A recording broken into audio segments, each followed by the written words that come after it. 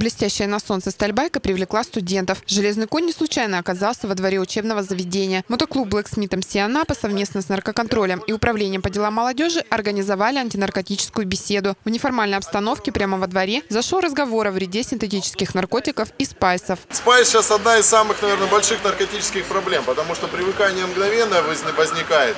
Очень быстро выводится из организма, определить практически невозможно, и уже есть смертные случаи. Спайс – это 7-8 химических соединений, более 700 видов смертоносной смеси. Причем смерть от употребления может наступить в течение нескольких часов. По данным Федеральной службы наркоконтроля, в России от наркотиков ежегодно умирает до 100 тысяч человек. скончалось от разового потребления несовершеннолетняя в Армавире.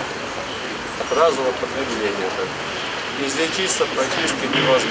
Наркоторговцы находят все новые современные каналы сбыта. Молодым людям нужно быть бдительными и знать, как избежать уловок. Отделом наркоконтроля по городу Анапа проводились оперативно-розыскные мероприятия по фактам реализации э, синтетических наркотиков, в результате чего задокументирована преступная деятельность группы лиц э, в составе семи человек, которые занимались распространением синтетических наркотиков через интернет путем закладок. В настоящее время задержаны пятеро, двое личностей которых установлено находятся в федеральном розыске. Особая категория риска – ничем не увлеченная молодежь. В жизни много других удовольствий, менее опасных для жизни и более приятных для организма. Мотоциклы, велосипеды.